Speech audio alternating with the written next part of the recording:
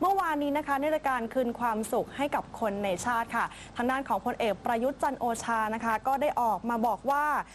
มีการขอบคุณประชาชนจำนวนมากนะคะที่ติดตามแล้วก็ให้กำลังใจคอสช ที่ทำงานมาอย่างตลอดแล้วก็ต่อเนื่อง บางครั้งเนี่ยอาจดูเหมือนยังไม่เร็วพอที่จะสามารถแก้ไขปัญหาทุกอย่างของประเทศได้ เนื่องจากว่ามีปัญหาความทับซ้อนเกิดขึ้นค่ะ ก็เลยต้องขอความร่วมมือ ผู้ที่ยังไม่เข้าใจที่พยายามจะต่อต้าน โดยอ้างคำว่าประชาธิปไตยเรียกคืนอำนาจและเลือกตั้ง หรือว่าตำหนิติเตียนทำใบปลิวบัตรสนเท่ห์นะคะ โดยใช้ social network หรือว่าให้ร้ายการกระทำที่เป็นเจตนาดีของคสช ที่พยายามจะนำพากลับไปสู่สถานการณ์ที่ไม่ปกติอีกครั้งค่ะ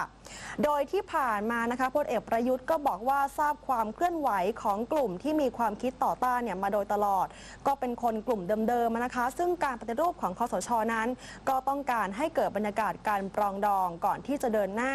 ในการแก้ไขปัญหาทุกๆ ด้าน โดยยึดตามหลักของกฎหมาย แต่ว่ากฎหมายบางเรื่องเนี่ยก็ต้องไปแก้ไขระยะยาวในเรื่องของสภาปฏิรูปต่อไป แต่ว่าจะเร่งแก้ไขปัญหาเฉพาะหน้าก่อนค่ะ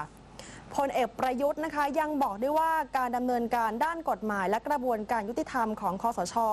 ว่าได้พยายามปรับปรุงแก้ไขในเรื่องที่เร่งด่วนไปแล้วบางเรื่อง แต่ว่าเรื่องใหญ่ ๆสำคัญสคัญๆที่มีผลผูกพันกับหลาย ๆ ด้าน ก็ต้องไปแก้ในสภาปฏิรูป หรือว่าสภานิติบัญญัติแห่งชาติ จึงจะไม่มีลักษณะการออกคำสั่งหรือว่าประกาศต่างๆ เพื่อที่จะกำจัดกลุ่มหนึ่งกลุ่มใดเป็นการชั่วคราว แต่ว่าต้องทำให้เกิดความยั่งยืนถาวรด้วยค่ะ แล้วก็ต้องทำกฎหมายทุกอย่างนั้นให้เกิดความเป็นธรรมกับคนทุกหมู่เหล่า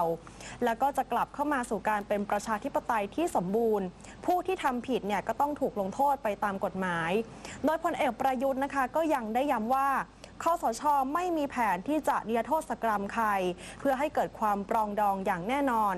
ขณะที่การโยกย้ายข้าราชการทหารตำรวจพลเอกประยุทธ์ก็บอกว่าการโยกย้ายทุกระดับนั้นเป็นไปตามขั้นตอนตามระเบียบและแบบแผนของข้าราชการค่ะ